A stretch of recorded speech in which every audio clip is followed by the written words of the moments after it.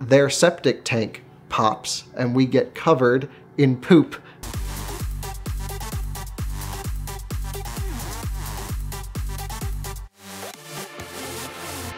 Back in the uh, days I was in high school, I got uh, news and heard about Alex Roy's run across the country in his E39 M5 and, of course, broke the record. And that was such an amazing thing to me. Of course, we've all seen the the Cannonball Run movie, and uh, you know everyone had thought about Cannonball in that way and as a fun film, but it really, in this sort of modern age, can be so much more, and it is actually a run that's still breakable. So that was a light bulb moment for me. Of course, I was still too young at the time and had no car to do it and no license. So I said, one day I'm going to attempt a run like this, and I really, you know, had had dreamed about it when Ed set the run in 28 hours 50 minutes, I had uh, pretty much the worst day ever.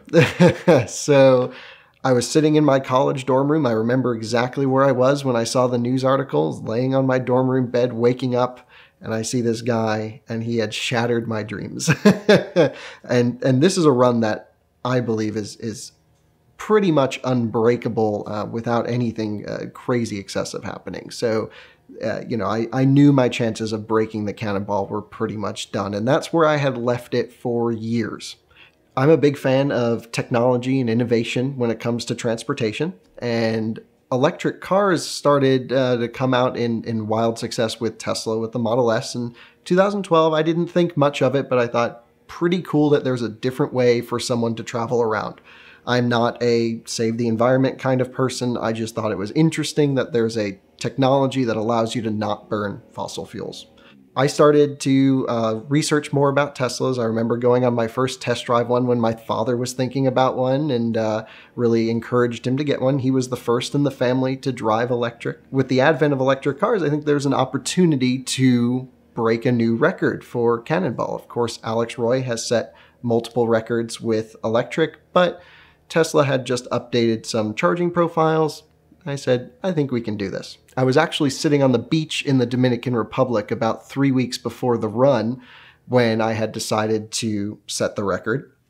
And I'd flown to California uh, the following week to at least time myself into Los Angeles, into the Portofino. I wanted to see what that trip was like in terms of timing myself so I knew not to make any wrong turns, etc. So I have a Tesla Model 3 long range that uh, is the most efficient version of the Tesla cars. It is uh, lowered down slightly so that we can get a little more range for each charge.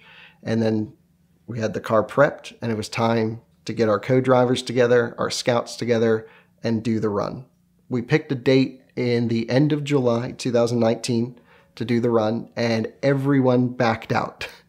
My co driver had an interview that he could not miss. Our scouts kind of all fell out. And I decided to find my co driver, Matthew Davis, to come with me. I found Matt uh, years ago through the Mini Cooper community. We were at an event, and we've sort of stayed in contact over the years. And I knew he had been wanting to do a cannonball type event. So I texted Matt on Snapchat and I said, Hey, how does a cannonball run in an electric car sound? He said, Done. Where do I show up? Great. I had my co driver. This was three days before the run. So we meet at my house in Raleigh.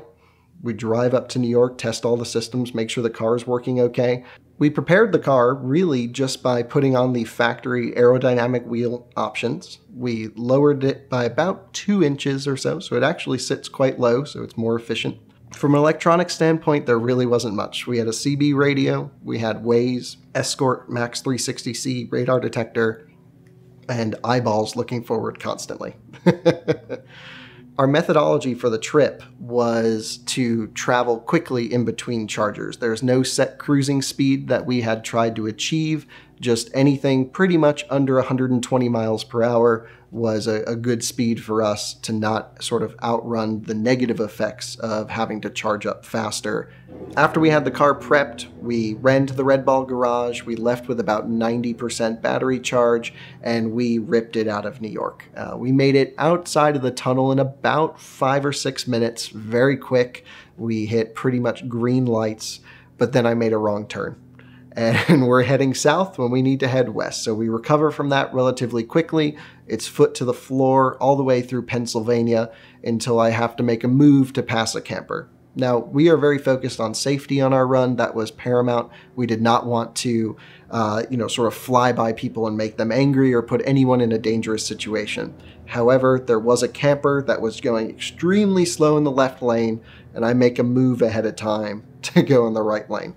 As we're going around a left hand corner, I'm on the outside lane passing them, which is probably the most dangerous thing we had done on the run. Uh, their septic tank pops, and we get covered in poop on the car.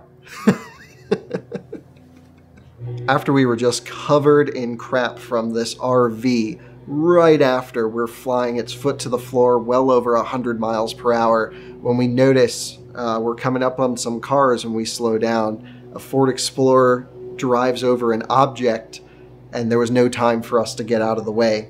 And we hit the object, and uh, I thought it had torn off the front bumper. It looked like a goose that had been roadkill. It was a big bird, and uh, that thing made a big noise. We had a couple little rattles after that, and then everything quieted down. We never stopped. We just carried on we had a really solid run up until about Ohio, which then we started to get in some denser traffic. And that may have been a, a, result of leaving potentially at the wrong time for our run, but it was dense traffic and we just put the car on autopilot and had to be patient.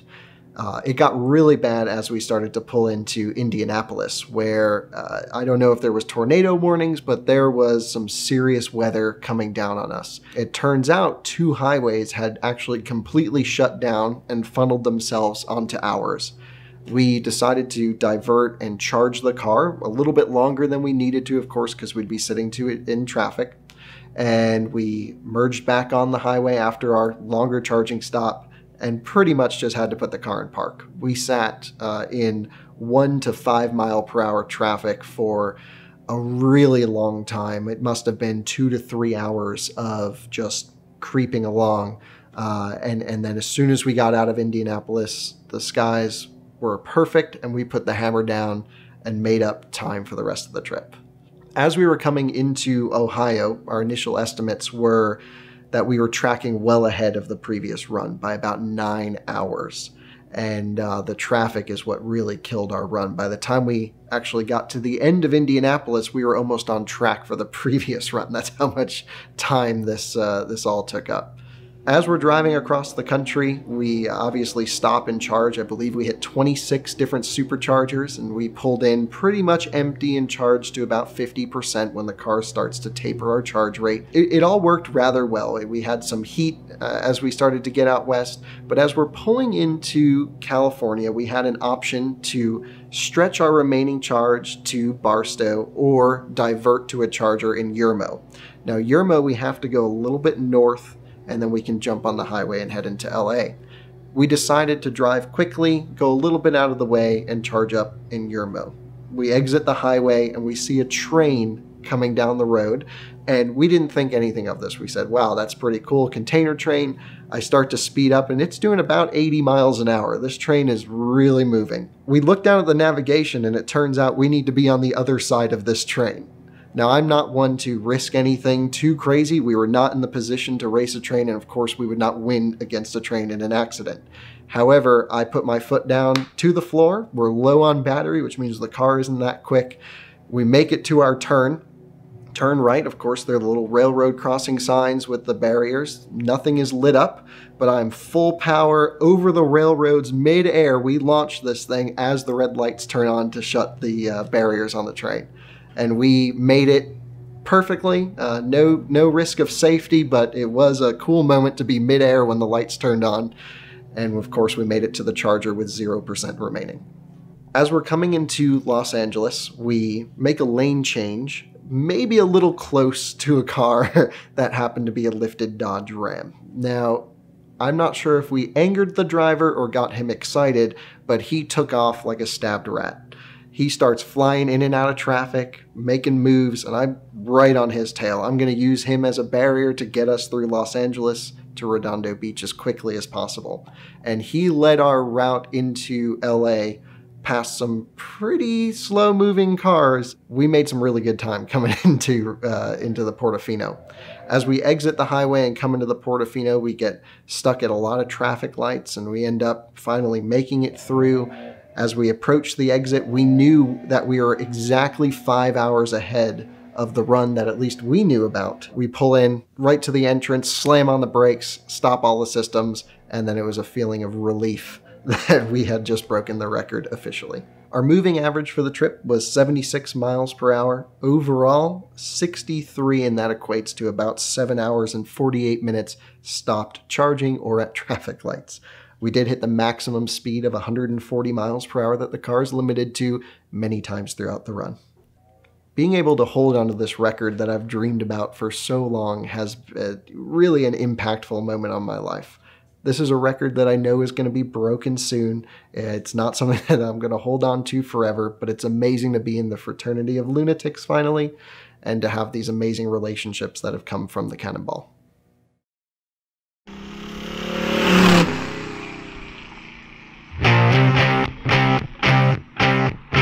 Going somewhere in a hurry, ma'am? Let me explain your options. Never mind, I got this. TheTicketClinic.com